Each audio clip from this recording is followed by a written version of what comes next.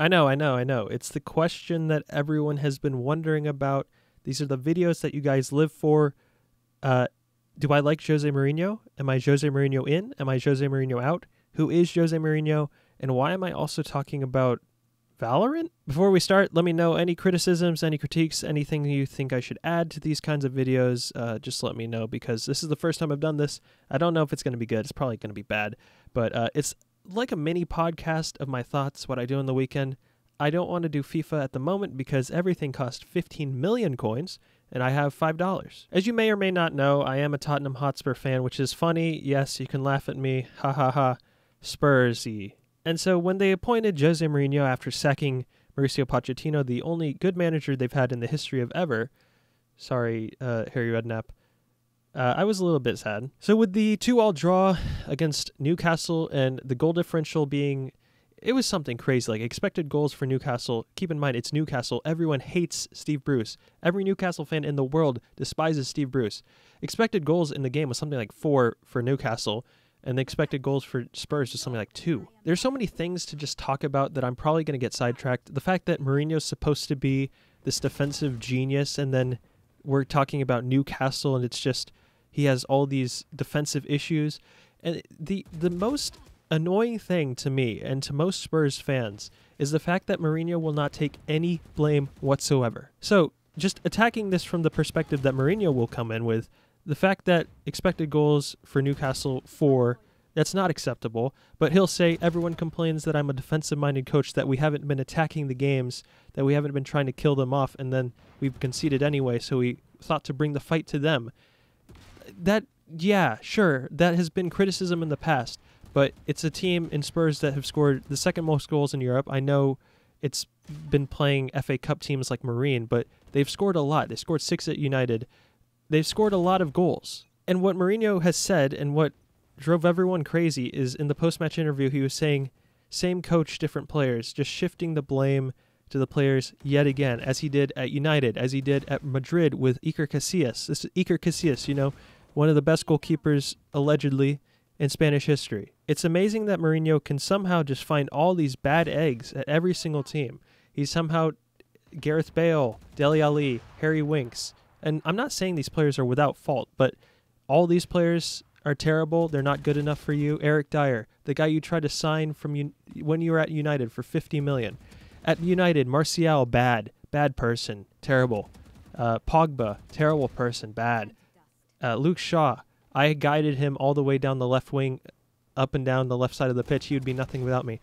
It's just you can't run into so many quinky dinks. I really don't know what Mourinho wants. If you look at the back line yesterday, Sergio Reguilon, great left back, also brought in by Mourinho, so I don't know what the point is there. Rodon, Rodon, he's pretty good. I mean, he's not a starter yet, but I think he's going to end up being a pretty good player. When he left Swansea, everyone was mad because it was for, I don't know, like 14 million pounds, and all the Swansea fans thought it was low. Brought in while Mourinho was there, so I don't really know. The one person he could point blame to and who he could say he doesn't like is Davinson Sanchez. Davinson Sanchez when he was at Ajax when they played United in the Europa League final. Supposedly Mourinho targeted him because he was a weak link. So okay, that makes sense. But then if that's your decision on Sanchez saying he's a bad player, then start Toby Alderweireld, you know, the guy you tried to sign while you're at United.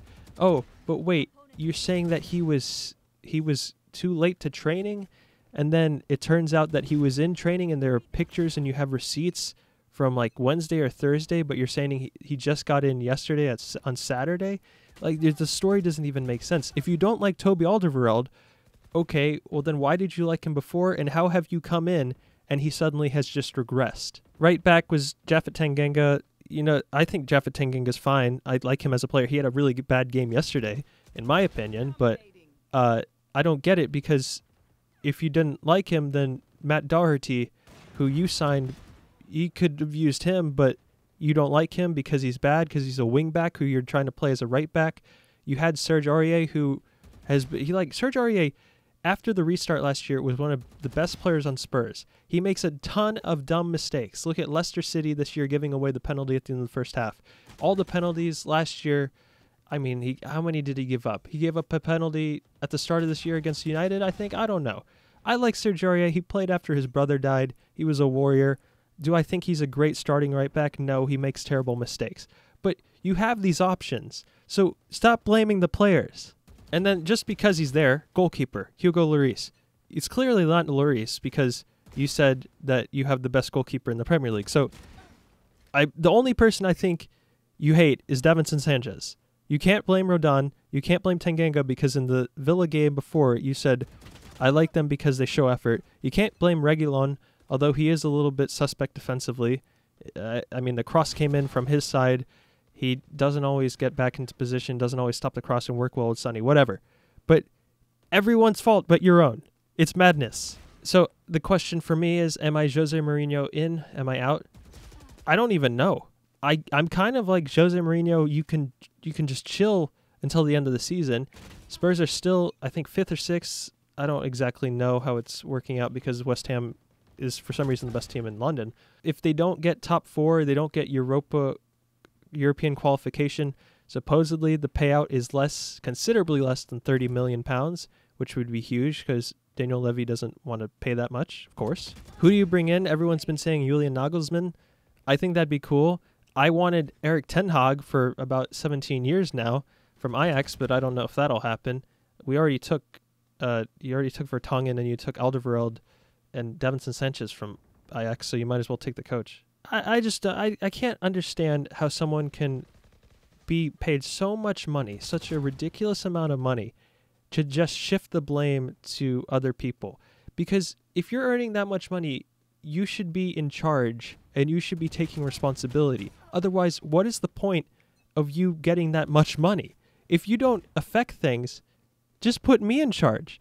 I'll be happy. I'll I'll play Dele Alli every day. Dele will love me. He'll name his son LT. Dele probably watches these videos. Dele, comment, like, subscribe. These videos are not intended to only be Spurs focused, so let's see what else happened yesterday. Chelsea, actually, this was Saturday. Chelsea lost 5 2 and had a red card. Thiago Silva probably should have gotten sent off the first time. I don't know. That was the first time that Chelsea have lost under Tuchel, I think. I like Thomas Tuchel a lot. I liked him when he was at Dortmund. It didn't quite work out for him. Conceding five goals to West Brom is kind of a mad thing, to be honest. I don't know why that happened, but there shouldn't be overreaction. Thomas Tuchel has done well at Chelsea. They've looked like a better team since Frank Lampard left. That's the first game they've lost. They beat Atletico Madrid in the Champions League. So everyone's like, "Hey, hey, guys! Hey, they lost. Hey, let's make a meme." I think Chelsea are fine. I, there's nothing to worry about there. Arsenal got smashed 3 0 by Liverpool, the most confusing team in the league. Uh, Man City showed that they can, will continue to win the Premier League for the next 27 years which is cool. United won against Brighton. Uh, that's yeah, West Ham best team in best team in London. They won 3-2 today. So that was pretty much it. Now, I feel like I'm just going to talk about Valorant because I do watch a lot of Valorant. Uh, that's I'm even playing Valorant in the background. I might play FIFA in the background next time and talk only about Valorant. Uh, so if you don't know what Valorant is, this might not be any interest to you. I'll just touch on it briefly because I do watch a lot of it, and I think some of you guys will be interested in this too. Um, just my thoughts on Sentinels losing against uh, BBG, built by gamers, with Coach Poach, which is kind of funny because I used to watch Poach play Fortnite a lot, which is a weird transition for him going from Counter Strike to Fortnite to Valorant, but good for him. So I don't want to get too much into this, but uh, TSM, hopefully, TSM FaZe and Sentinels all not qualifying in the first open qualifier is kind of a big sad. I, I hope to see at least I hope to see all of them qualify at least in the next open qualifier because they're such good teams. TSM especially. I don't know why. I like Brax. I like Wardell. I like Subroza. So we'll see. If you guys don't even care about Valorant, if no one has any clue what I'm talking about, let me know down below. I will never bring it up ever again. Okay, bye.